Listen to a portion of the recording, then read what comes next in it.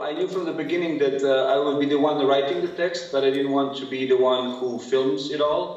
That would be way too obnoxious. So I started by um, um, challenging seven top cinematographers from seven parts of the world uh, into uh, trying to film nothing in a documentary way. And I didn't know them by then. Uh, I didn't know them then, but uh, I basically showed the list of the six other participants to everyone at the same time, and they all said yes simultaneously. So suddenly I had seven, you know, top uh, Oscar, Cannes, Berlinale winning cinematographers playing my game, but uh, in fact they didn't, um, they really didn't deliver.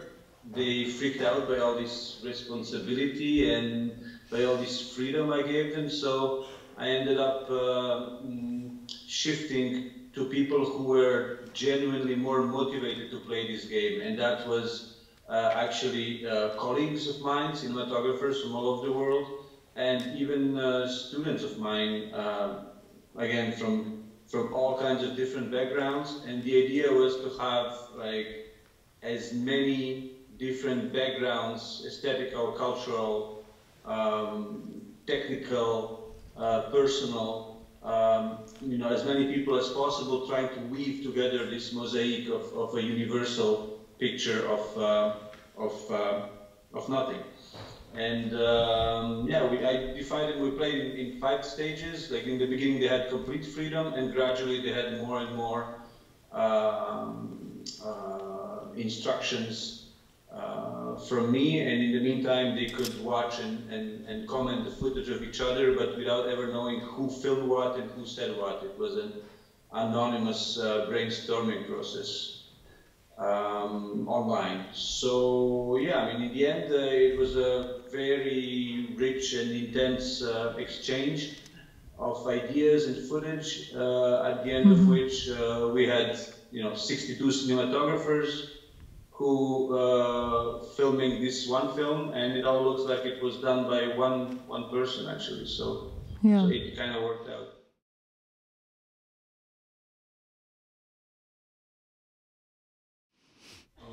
well, I mean, again, I, I also, uh, from, from the very beginning, I knew that I would wanted, that I could hypothetically challenge anyone into performing this role. I mean, who would refuse to, who wouldn't be intrigued at least to, uh, to, to, to, to, to play the role of nothing. So I had no idea who that person would be, and only after seven and a half years into production, I accidentally stumbled upon a, actually a video of Iggy Pop singing a, a, a, a, duet in French, a Jacques Brel song with, uh, with a young French lady. And I thought that he, mean, he, you know, there's my, my last remaining childhood rock and roll hero, um, you know, in better shape than ever and manifesting and representing exactly the type of character that I wanted, that I wanted my nothing uh, to be in the film. You know, this kind of uh, um, misunderstood uh, anti-hero, childish, uh, slightly decadent, witty, energetic, resilient, uh, poignant. So, um, you know, in this game of, uh, of infinite impossibilities, that is this film, I, I, I told myself, why wouldn't I, why wouldn't I challenge. Why wouldn't I basically ask, try to get to Iggy? And it started by me asking my, telling my friends, hey guys, you know, this film I'm kind of making for all these years, well, it's um, it's going to be narrated by Iggy Pop. And actually, um, uh, thank God somebody took me seriously and they uh, uh, and they and, and, they said, oh, I, I know one technician at one of his concerts in France a friend of ours was doing that. So through that technicians, you know, through these seven degrees of separation, I got into contact with his uh, French manager and with a few uh, gypsy negotiation tricks, I managed to convince him to uh, uh to to show the proposal to Iggy, and Iggy accepted straight on, spot on. And um, and yeah, we had this one recording session, like super professional. It was great and and, and, and, and funny and very understanding and and extremely, you know, efficient. And uh, yeah, I mean he he he loved the he loved the whole thing. I asked him at the at the end of the session how it felt for him, and he said one memorable line. He said, uh, "This was like something from the Renaissance or something."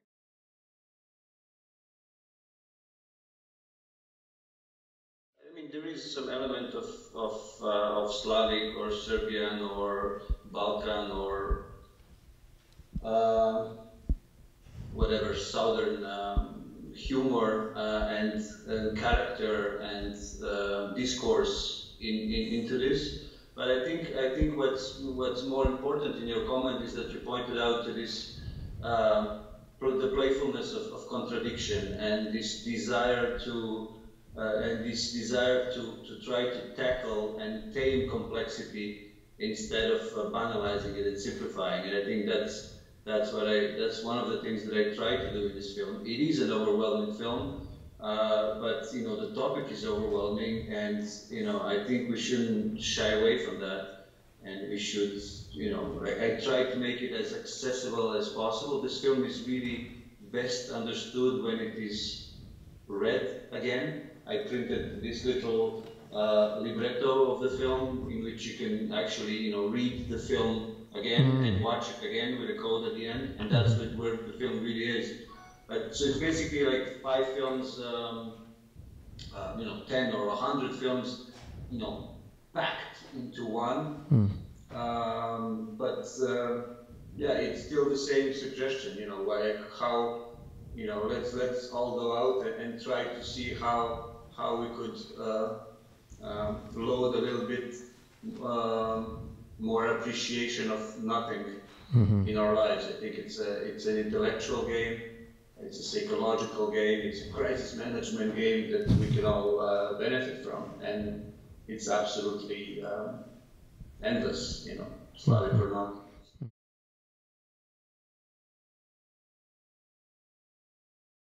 I mean, I was amazed that uh, the reactions to this film throughout the world have been uh, almost identical in the sense that this film generates some sort of uh, uh, elated confusion or like this sense of uh, consolation or the sense of like there's some some sort of a, a warm feel, feeling of of content and of of um, acceptable fatalism fatalism um, which which really surprised me. I mean it's and this is why I I basically, uh, you know, and the, the, the tagline of, uh, the, on the poster, it says, an unlikely feel-good documentary.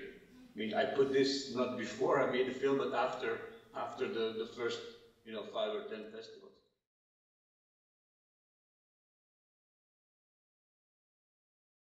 Yeah, I actually saw uh, Baraka uh, in cinema in '93 when it was released in uh, in Canada. I was doing my studies in in Ottawa, so I saw it, you know, on a big screen over there. And yes, of course, like such a film uh, um, really it, it leaves an impression on you. But for me, uh, I think those films played their uh, role in the history of cinema, and which was very important at that time. But I think we should move one step beyond, or, or, or, on the side, or wherever.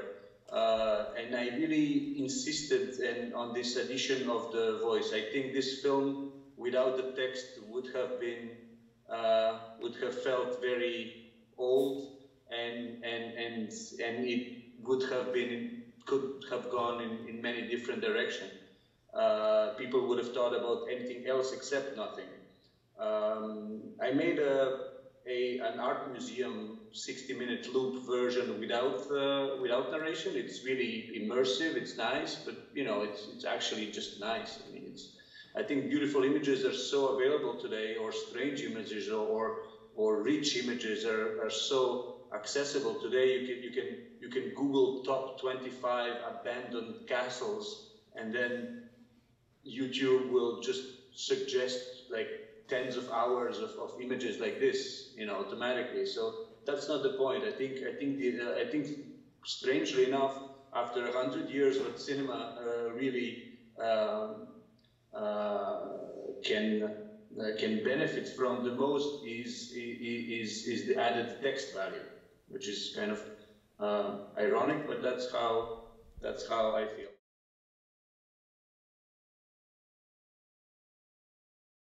And the text, uh, the text I wrote myself, the whole of it, uh, after you know eight years of, of a massive research, I, I, say it's the most eclectic bibliography ever used in documentary film. All kinds of subjects, and it kept growing exponentially. I have enough books to read for for my next you know 20 lives, and uh, it was just you know like it was just like falling in love with reading and learning again. Basically, you can reinterpret everything through you know through this special side angle of, of nothing.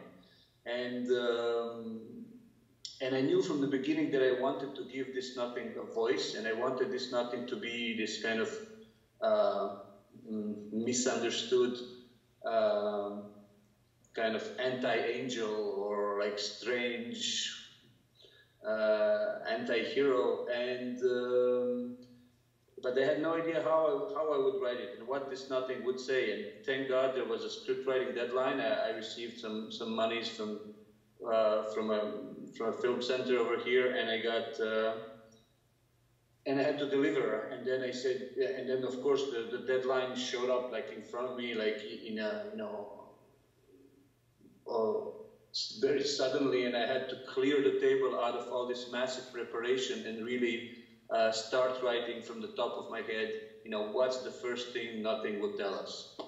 Finally. Finally what? Finally we meet, you know, finally our first date. What happens on a date? Sometimes you arrive early, sometimes you arrive late.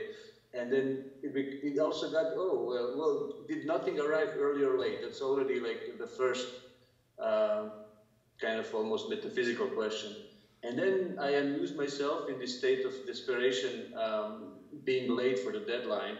I amused myself. Uh, I mean, I, I, was really surprised that it started rhyming because I never intended it to rhyme. I never wrote any li two lines of poetry in my life before this, and I never planned to write it like that. It just that's how it came out from my head, and I really think uh, it's it's actually uh, the children bedtime books that I was reading at the time to my kids that, that are to blame for, for the style of this writing. It probably was provided this safe matrix in my head of, of, uh, of uh, framing complexity into a simple, into a seemingly simple form.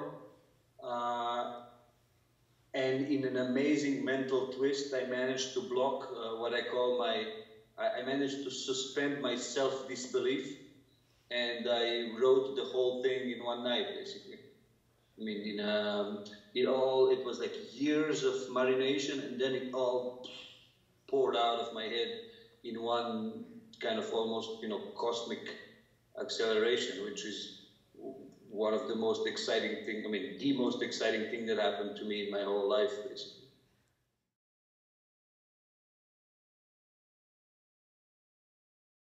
Uh, the visuals were, were being filmed for seven years, non-stop. Uh, I just wanted footage of nothing, whatever, whatever you know, documentary footage of nothing, whatever is nothing for the cinematographers, and I filmed myself, like almost half of the film. But the idea was uh, that footage was on one side, and then the text came at the very end, and then I wrote the and recorded the narration, and uh, and basically was looking in a pile of, of, of footage what could fit where as a um, as a kind of illustration um, or a counterpoint to, to this or that line.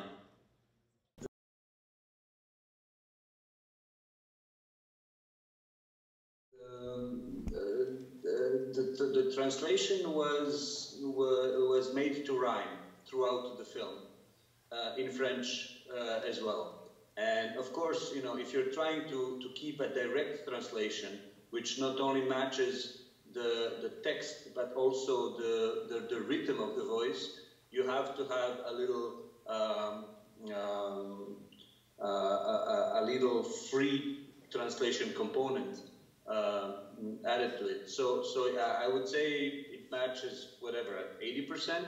It is, you know, when you read it separately, it works perfectly. The problem is that you understand both English and French, and that's why when you try to read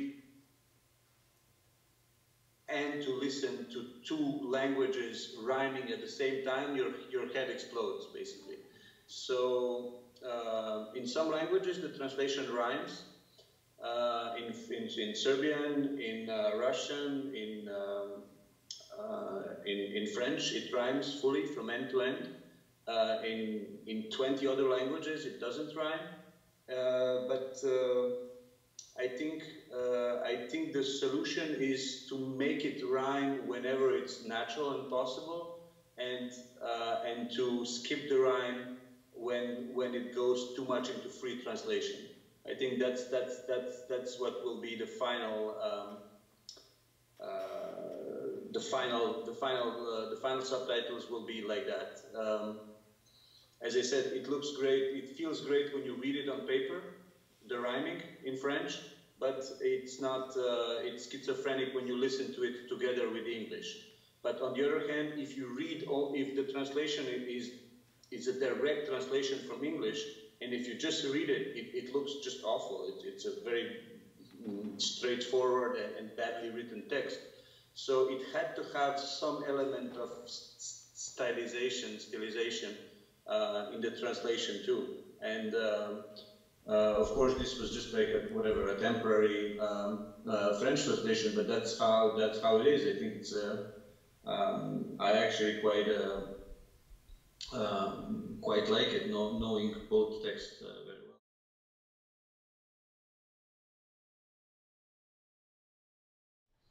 Well, uh, actually not. I mean, he was. I think he really got into the text as he was reading it and uh, we were kind of discussing a lot of the lines, uh, wasting precious recording time actually, which was very limited. Uh, so I was basically, you know, always, you know, trying to put him back on track. So, you know, trying to avoid him to make all these digressions.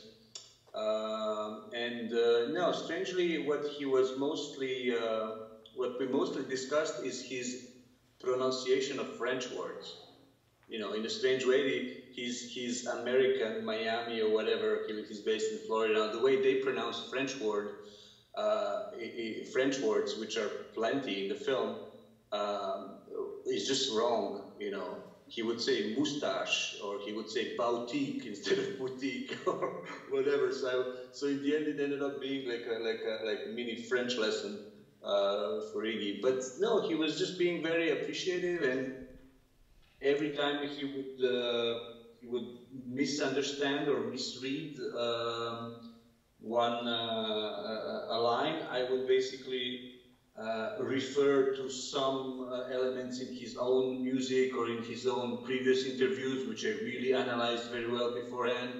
So, so we, we, we, I was very quick to put everything back on track. But um, he really didn't, uh, you know, it went, it went so quick, one session, uh, which was four hours, which is technically three hours without the breaks, and we recorded 94 minutes of the narration in a longer version. So it, he basically read everything once, maximum twice. So I wish I had one week with him to uh, do exactly what you suggested, but it's just impossible with uh, not because of him, but because of his overprotective managers. I mean, they're protecting him as if he was like a, like a fragile flower. You know.